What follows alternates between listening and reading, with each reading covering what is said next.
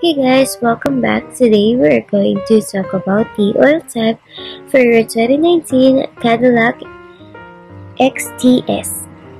And if you are looking for what oil to buy for your 2019 Cadillac XTS, I have already looked it up.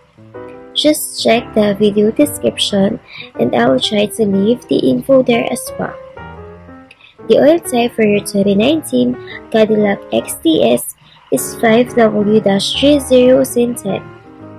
This oil type is only the manufacturer's recommended oil type.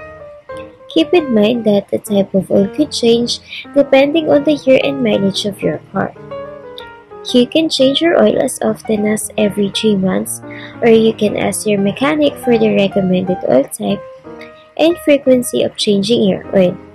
So once again, the oil type for the 2019 Cadillac XTS is 5W-30 synthetic. And if for 2019 Cadillac XTS uses a different type of oil or if you know a cheaper place to buy oil for your car, make sure to leave your comments and let the rest of us know. And don't forget to check the video description for the most recent price. Thank you for watching this video. Please like and subscribe.